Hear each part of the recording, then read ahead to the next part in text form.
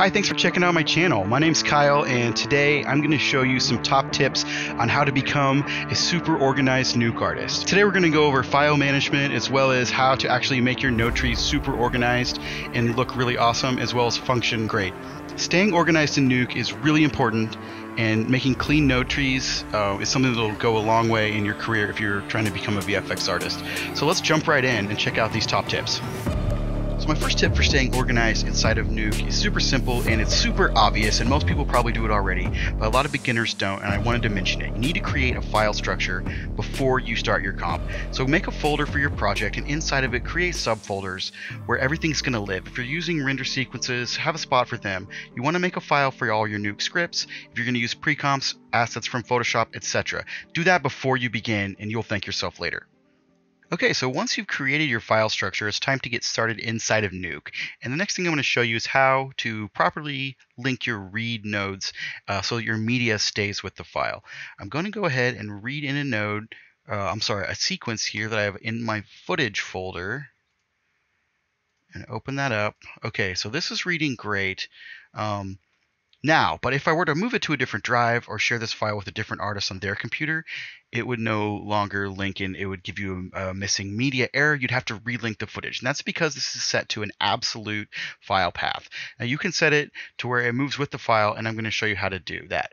The first step you have to do is you have to save your comp. If your comp isn't saved, it won't work.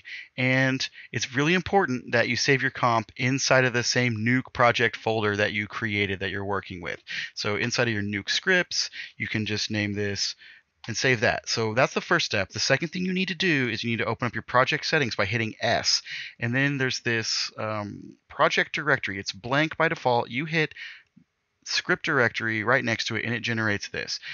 Once you've done those two things, it's super easy to uh, link this properly. Just go up to your read node where the file path is and nuke project and everything before that gets replaced by two dots, just period, period, and then hit enter. And now it, nothing changes. It's still reading. But what this means is that the next person to open up this file, it's going to look inside of the file structure that you created and it's going to automatically link this. So you could move this to a different drive, you could give this to another artist, and they'll be able to open it up, and the media will open properly for them. Okay, so now we're finally getting into the more interesting stuff. This is the fun stuff inside of your actual script. How do you stay organized? Well, this is the possibly the most important tip in the in the list because you absolutely have to build your scripts like this or, or they will become huge spider webs. And it is respecting the b down pipeline. That's what i'm talking about. What do i mean by respect the b down pipeline? Well let's check out an example. Let's say i've got two plates here. One of them's this desert background and then i have a cg render of a train that i want to put on top of it. So we know we're going to use a merge and we know that A goes over B. So let's say we want the train, which is A, to go over B. Now that's going to work, but it's not right. The correct way to set this up is B down pipeline. So the B is going down, the A is coming in from the left.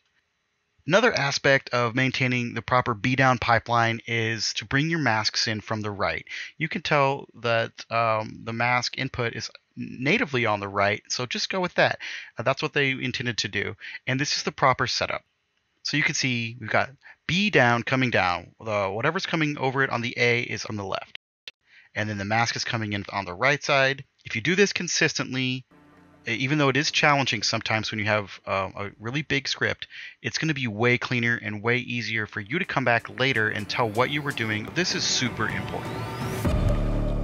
All right, the last thing I want to touch on is how to keep your large scripts organized and easy to, to use by spacing them out and using backdrop nodes. So here's an example of a script that turned pretty big, and as you can see, I have all these backdrop nodes. So if I want to change something, um, hey, the muzzle flash is too much over here. I know where that's at from a distance. I don't have to zoom in and see what I'm looking at.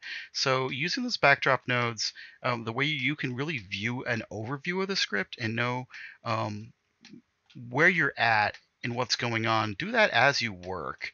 Don't let it get too far ahead before you start putting these in because you will regret it. And you'll also notice that I leave quite a lot of space in in my uh, node trees. Like if you need to add color corrects or you need to add some, like sometimes you'll see that it's actually kind of crowded. Well, that's because I left that big space to begin with there to have room to do that.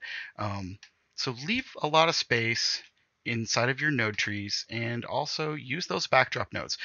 So to illustrate the importance of spacing out your nodes and using backdrop nodes, I went ahead and took them all out and showed you this exact same script without it.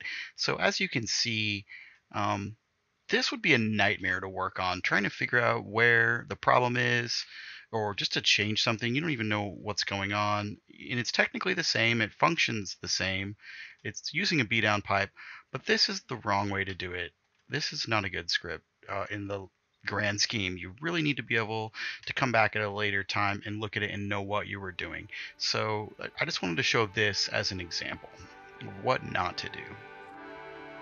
So there you have it. Those are my top tips for being super organized as a nuke artist. Your file structure is going to be clean. You're going to be able to transfer it. Your nodes are going to look great, and you're going to be able to tell exactly what you're doing. And other artists are going to appreciate it, and you're going to appreciate it as well. Uh, the more you work inside of Nuke. I wanted to give a lot of credit to the Foundry um, because they actually have a lot of resources to learn. A lot of where I picked this stuff up from is from their own learning resources. Uh, How to Stand Out as a Junior Compositor is an amazing video. It goes into way more depth than this. I basically just boiled down um, the simplest version for absolute beginners, but please uh, continue your learning with the Foundry. So I hope you guys enjoyed the video. Hope you took something from it. If you have questions or comments, please leave them in the feedback. If you like content like this and you want to check out my other videos, please uh, like and subscribe. Good luck comping and never stop challenging yourself.